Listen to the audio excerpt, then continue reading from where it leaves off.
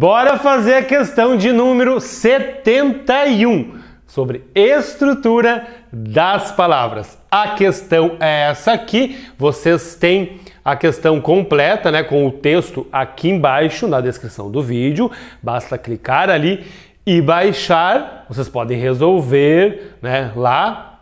Vocês vão precisar do texto, então vão ter que resolver lá. Não tem jeito, tá? Essa é uma questão que tem que resolver no link aqui embaixo. Clica ali, abre a questão, resolve e volta aqui para a gente corrigir. Eu vou contar até 5 para vocês fazerem isso. Vamos lá?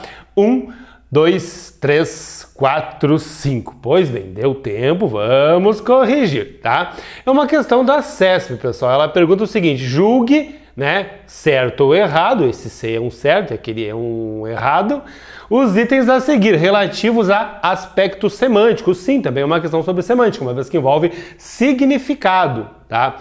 De termos presentes no texto. Aí é termos, sufixo, prefixo, a gente aprendeu isso em estrutura das palavras, tá?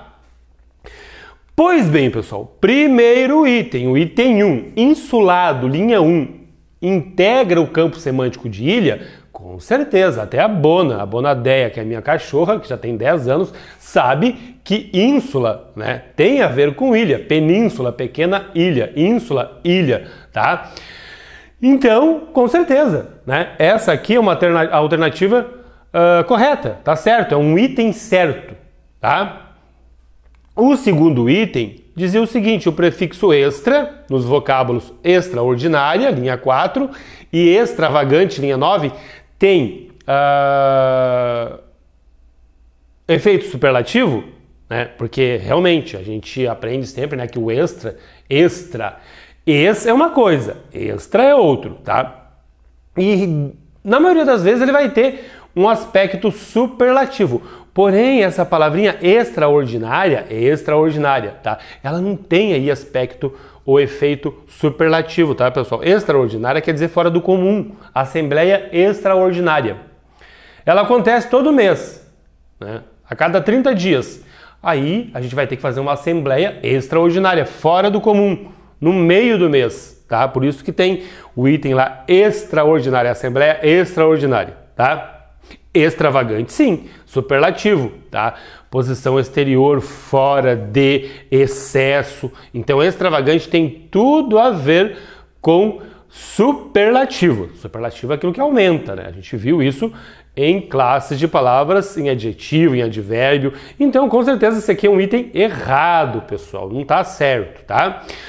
Uh, o, o, número 3, né, que diz o seguinte: os termos monoteísmo, linha 8, misticismo, linha 9 e fetichismo, né, linha 10, constituem exemplos de uso do sufixo ismo, que é um sufixo muito utilizado, que se disseminou para designar movimentos sociais, ideológicos, políticos, opinativos, religiosos e personativos. Realmente, pessoal, esse sufixo, tá?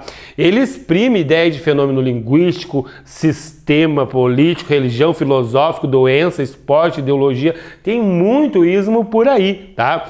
Então tá certo. Ismo, se vocês os três, as três palavras aqui, monoteísmo, misticismo e fetichismo, tem sim a ver com religião. Ah, professor, como? Vão pesquisar. Mas tem a ver, as três palavras têm a ver com religião tá? Então é um item certo, com certeza.